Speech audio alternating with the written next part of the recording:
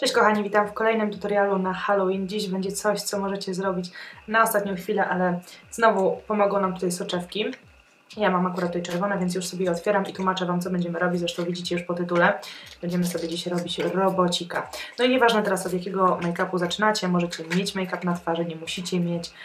Faceci nie muszą mieć w ogóle make-upu, bo to też można zrobić oczywiście u mężczyzny. Dobrze, na sam początek kilka rad dotyczących soczewek. Ja już sobie wyjęłam na czystą rękę i wylejcie sobie ten płyn bezpośrednio na tą soczewkę i pozwólcie jej się namoczyć tutaj na, na dłoni.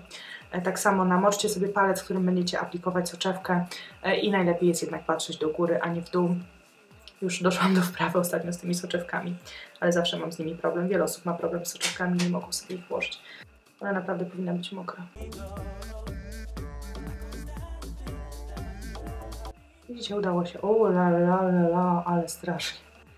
Dobra, teraz chwila na przyzwyczajenie się. A soczewki dostaniecie w różnych sklepach online, tylko pamiętajcie, zakładamy je normalnie na chwilę, nie chodzimy w nich długo. Kiedyś poznałam chłopaka, który chodził w jednej soczewce przez kilka miesięcy, a one były jednorazowe, więc tego nigdy nie róbcie. I po raz kolejny przypominam Wam, żebyście najpierw włożyli sobie soczewkę, a później robili make-up. Dobra, teraz sobie jeszcze tutaj nałożę rzęsy sztuczne, póki tutaj się oko przyzwyczaja.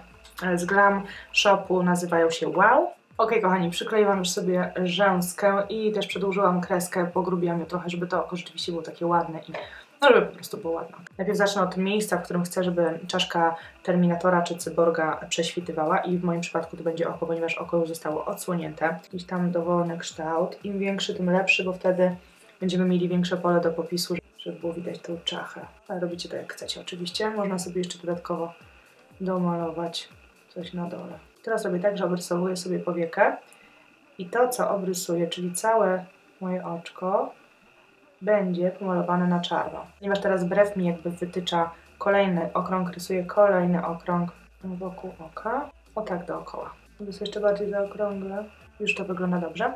No i tutaj lecicie według Waszej wyobraźni. Możecie rysować jakieś kości, możecie rysować jakieś rury w środku. Ja sobie narysuję tutaj miejscu, gdzie mam kość. Normalnie narysuję sobie ala taką, taki przewód, czy nie wiem, czy rurę, co tam chcecie.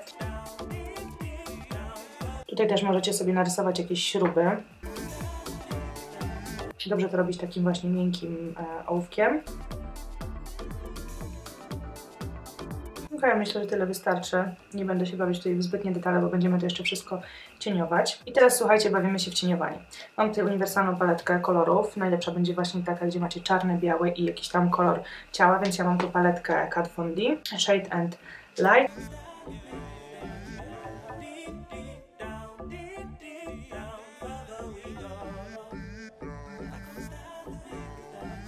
Ok, widzicie, ten czarny nie wyszedł aż tak mocny.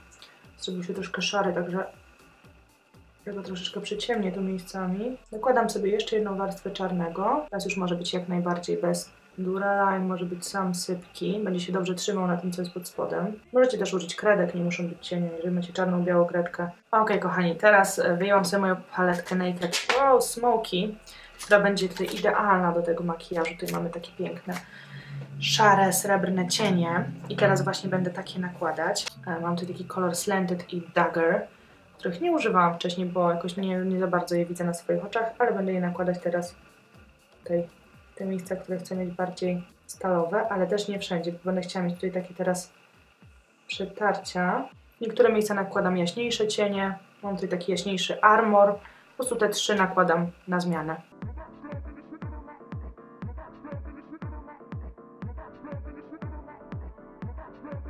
Teraz wracamy do jaśniejszych kolorów. Już wygląda to całkiem, całkiem nieźle. I, I pozostałe miejsca będziemy cieniować jaśniejszymi i szarymi odcieniami, więc wracam do tej palety.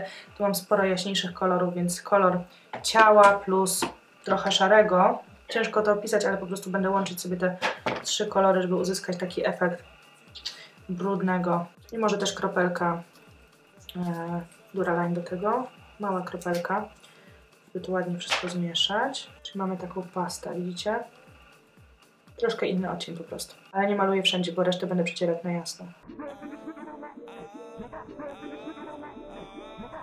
Pozostałe miejsca maluję na jasno i użyję tutaj sobie tej um, konturówki w żelu linera z Inglota w kolorze 68. Muszę tu nałożyć Duraline, ponieważ już mi popękał. Używałam go przy poprzednim tutorialu, ale jak one długo leżą, to niestety nam pękają i tworzy mi się taka beżowa pasta. I właśnie tym będę sobie teraz zaznaczać niektóre miejsca. One oczywiście będą się brudzić od tego szarego, ale to nie szkodzi. I tak ma się stać. Ok, i ten sam pędzelek teraz umoczę z powrotem w jasnym szarym i będę wypełniać pozostałe miejsca i blendować tutaj.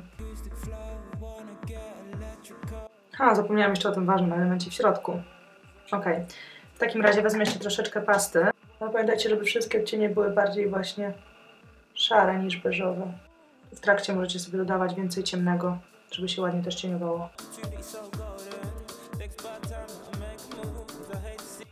Tu mi na dole jeszcze coś nie gra, to zaraz też poprawię.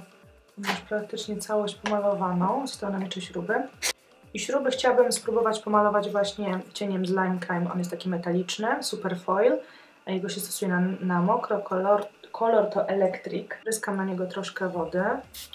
I on się tak uaktywnia i staje się jeszcze bardziej intensywny, przynajmniej tak obiecuje producent. Taką złotą, złotą, srebrno-złotą pastę. Zobaczymy jak się będzie prezentował na śrubce. No, fajnie błyszczy się. Nie wiem, czy nie jest za, za jasny tylko.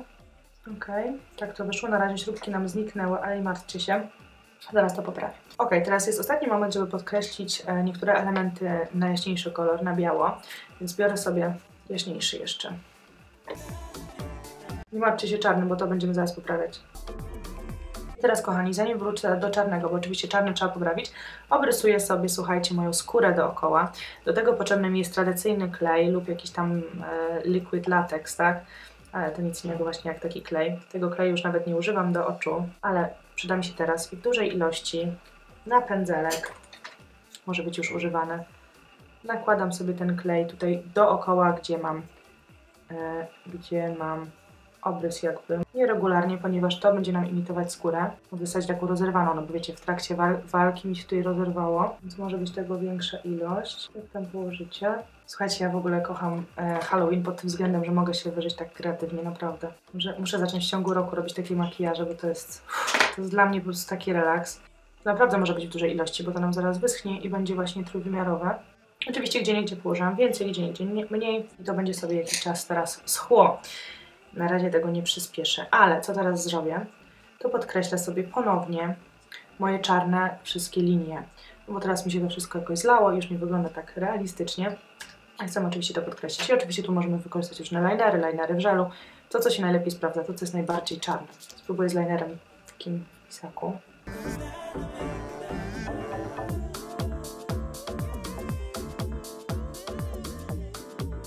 To jest najtrudniej, bo powieka się marszczy i zawsze są takie nierówności, mi to wkurza. I teraz jeszcze, ale brązowymi kolorami teraz pocieniuję sobie to, co tutaj mam, żeby było jeszcze bardziej trójwymiarowe. Ehm, więc tutaj pamiętajcie, żeby nie były tylko srebrne, ale też brązy. Brązy nadają właśnie głębi, sprawiają, że robot będzie wyglądał na bardziej zużytego. Więc tutaj w kilku miejscach sobie właśnie podcieniuję.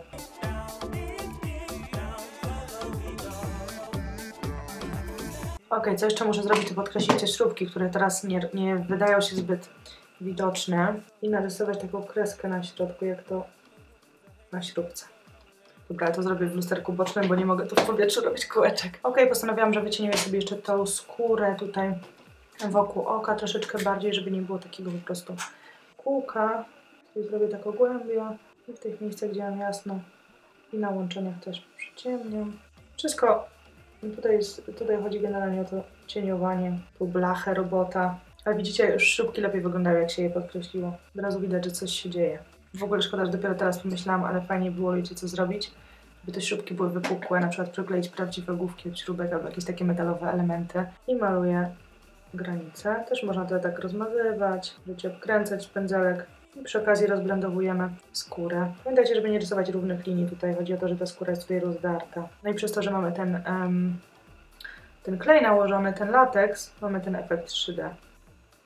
Tu może być nawet grubsza warstwa podkładu, ona wyschnie i będzie też spoko wyglądać. Nie wiem, czy tu kamera to oddaje, ale na żywo naprawdę ten efekt jest teraz spotęgowany przez to, że pod spodem jest klej.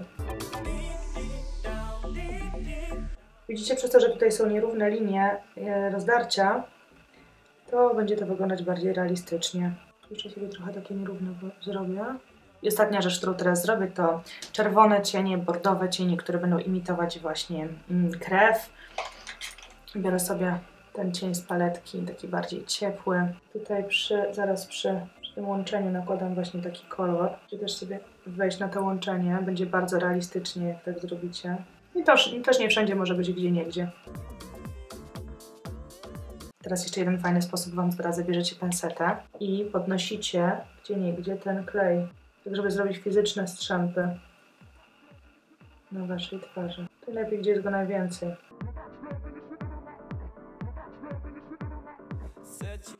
Jak fajnie wygląda? Tutaj najlepiej, gdzie jest go więcej. Właśnie dlatego lepiej było go więcej w niektóre miejsca nałożyć.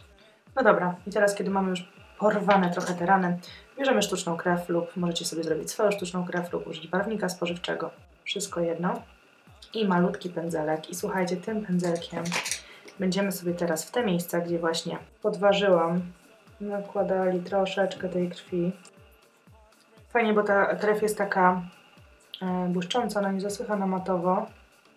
To wygląda bardziej właśnie realistycznie. Najlepszy efekt jest jak taką krew po prostu palcem sobie rozprowadzimy.